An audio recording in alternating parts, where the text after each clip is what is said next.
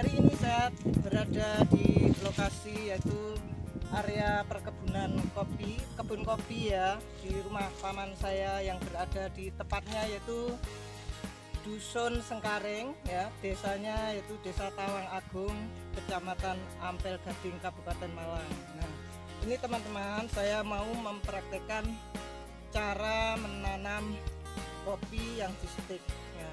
Ini teman-teman, nah lihat ini dulu perkebunannya seperti apa, lokasinya seperti ini ya. Nah seperti ini, seneng kan kalau lihat seperti ini. Nah pemandangannya indah. Ini di tepatnya yaitu di lereng Gunung Semeru ya, barat laut. Nah, seperti ini. Ini saya sekalian silaturahmi ke rumah paman ya. Ini teman-teman saya mempraktekkan ini tanam kopi dulu ya.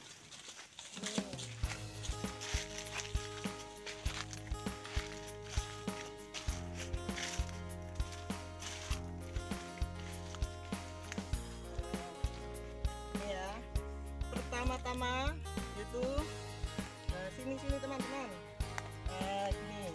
Pertama-tama saya menyiapkan bibit ya ini namanya kopi ini jenisnya 308 ya. Ini saya mau tanam dulu. Ukurannya kalau di sini tuh 40 tanahnya ini ya. Eh, lubangnya itu 40 kali 40 cm ya. Ini saya praktekkan dulu ya.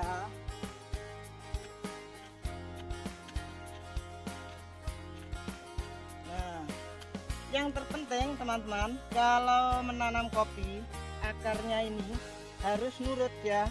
Maksudnya enggak boleh bekok, biar ini tumbuhnya sangat bagus nanti. Seperti ini loh. Ini teman-teman. Nah, seperti ini ya, ditancapkan seperti ini, baru diuruk ya. Jadi harus tertata rapi namanya si akar tadi ya. Nah, gini.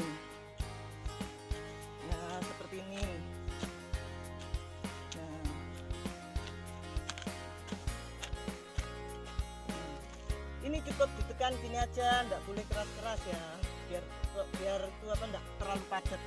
Nah, seperti ini. Nah, gini aja udah cukup. Nah, setelah ditanam ini, kira-kira nanti kalau umur tiga tahun akan menjadi seperti ini baru disetik ya nah ini setikannya seperti ini nah setik nah kalau yang setiknya ini di atas ini harus pakai kopi yang namanya kopi unggul ya. Ini umur tiga tahun teman-teman. Tiga tahun baru disetik jadinya seperti ini. Dan selanjutnya harus ada pemupukan yaitu awal musim dan akhir musim. Nah contohnya kalau kalau kita nyetik ya itu ada ini contoh lagi. Ada yang namanya entres entres itu ada tiga macam yaitu satu entres rojo yang dua kipas eh yang dua kipas dan yang tiga antik. Ternyata yang dibutuhkan lebih bagus itu yang seperti ini. Seperti ini ya. Ini bagai dibuat untuk nyetik yang itu yang di atas tadi. Itu namanya antik ya pakai yang ini ya nanti buahnya akan lebat dan apa lebih bagus. Jadi pilihlah yang antik ya bukan rojo bukan kipas. Lebih bagus yang antik. Dan kemudian kalau namanya si kopi tadi itu biasanya yang bagus itu bulirnya ya. Kalau sudah menjadi OC itu warnanya telur asin. Biasanya gitu ya. Nah ini ini mau saya lihatkan ini masih belum tua teman-teman seperti ini. Ini kan masih muda ya seperti ini. Nanti kalau manen itu kalau sudah tua itu yang merah-merah ya seperti ini ya.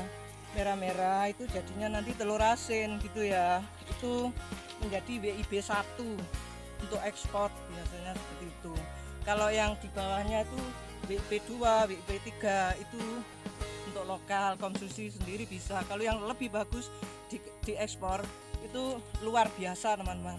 Jadi siapa saja yang penikmat kopi ya tanam aja kopi yang seperti ini modelnya ya.